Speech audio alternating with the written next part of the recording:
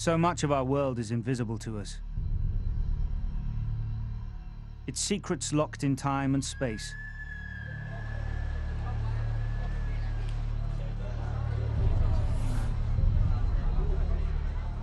But alter that time and space, and the once invisible world suddenly becomes visible.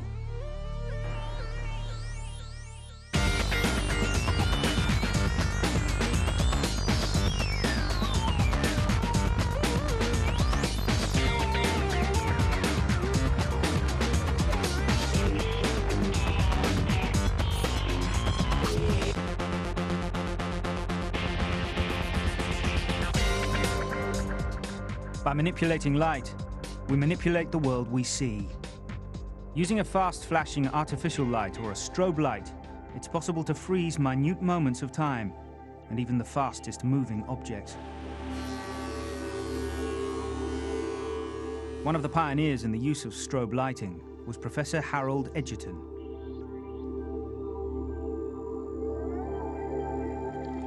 With ordinary light, the uh, human eye is incapable of seeing these drops, and they, so it appears like a continuous stream. But if now if I flash a strobe on it in synchronism at exactly 60 times per second, then the drops will appear like they're standing still.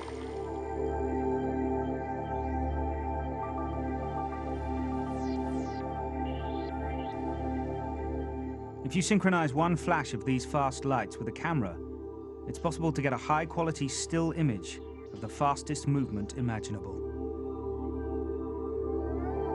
Like a bullet traveling at 2,800 feet per second.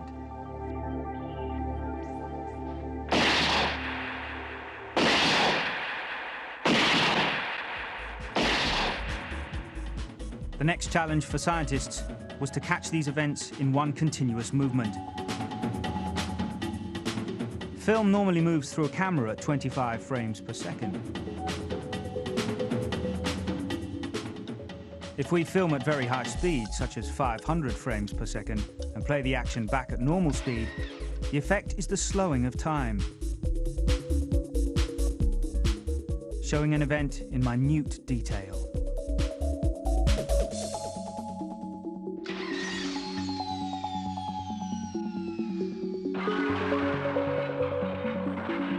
Stilling, or slowing down events, has been very useful for scientists. But just as useful for revealing the hidden secrets of our world is speeding those events up. This process is called time-lapsed photography. Fruit normally takes around two weeks to rot, but by taking one shot of the fruit every four seconds for two weeks, and then running the film at normal speed, scientists can see this process taking place in 30 seconds.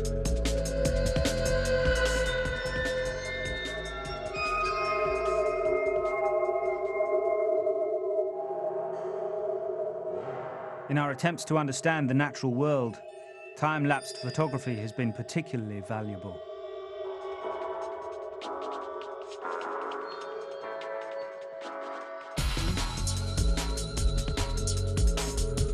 One particular shot which has given us great pleasure at OSF is a sequence which I took of the destruction of a dead mouse carcass by blowfly maggots.